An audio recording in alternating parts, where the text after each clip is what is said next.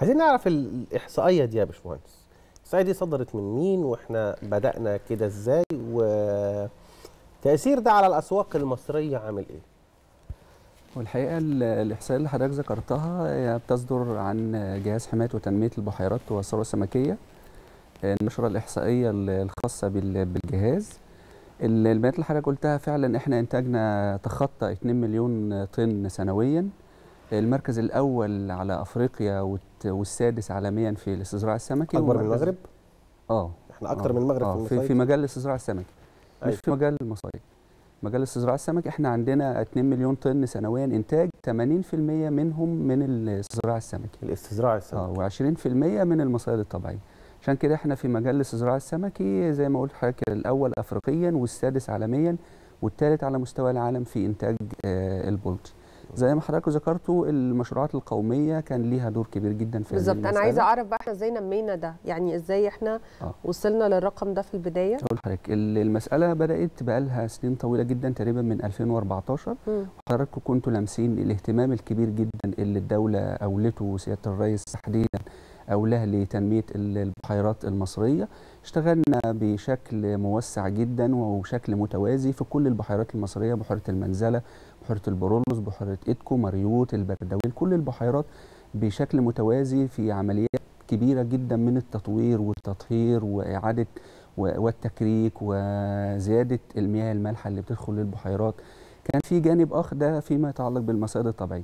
كان في جانب آخر والاهتمام بالاستزراع السمكي زي ما ذكرنا مشروع الفيروز ومشروع بركة غليون وباقي عمليات الاستزراع السمكي اللي موجودة في في مصر. آه، حصل تطور تاني مختلف شوية إن إحنا المساحات اللي موجودة اللي تصلح للاستزراع السمكي كلها تقريبا مستغلة. فكان الفكر إن يتم الاستغلال بشكل رأسي اللي هو تكثيف عملية الاستزراع.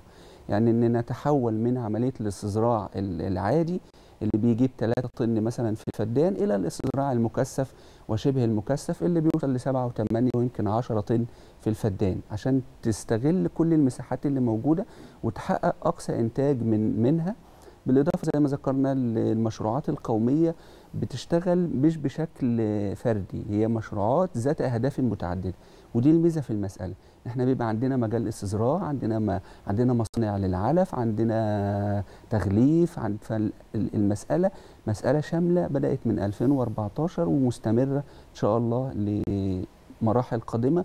للوصول بالإنتاج إن شاء الله ل 3 مليون طن. بس الناس تقول لك سمك المزارع ربما يختلف عن سمك المصايد ممكن تدينا وجهة نظر وهل إحنا راعينا ده في الم- المزارع الجديدة إن إحنا يعني نعمل شكل أفضل للاستزراع السمك؟ آه أقول لحضرتك هي هي معلومة مش صحيحة 100% أي. هو طبعا معروف إن ال ال الأسماك ال- اللي بتربى في المصادر الطبيعية آه بتبقى يعني غذاء طبيعي لكن ما- أسماك الاستزراع هي أسماك يعني ذات جودة عالية جدا.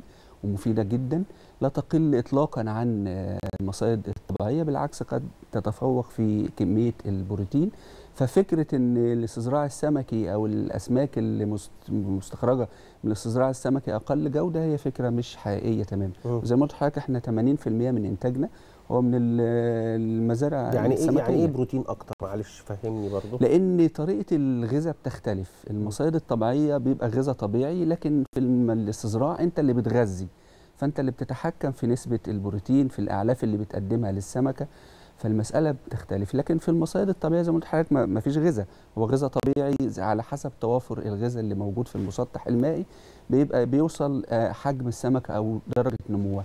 لكن في الاستزراع السمكي عملية محكمة تماما الغذاء وطبعا أي مستزرع بيبقى مهتم جدا بإن المنتج بتاعه يبقى أعلى جودة يبقى أعلى جودة لأن ال- المنافسة كبيرة. كبيرة جدا مم. والاستزراع السمكي منتشر في كل محافظات الجمهورية فهو بيحاول إنه يوصل لدرجة أعلى من الجودة عشان يقدر يسوق سمكه بسعر مناسب يقدر يوفر له ربح يعني.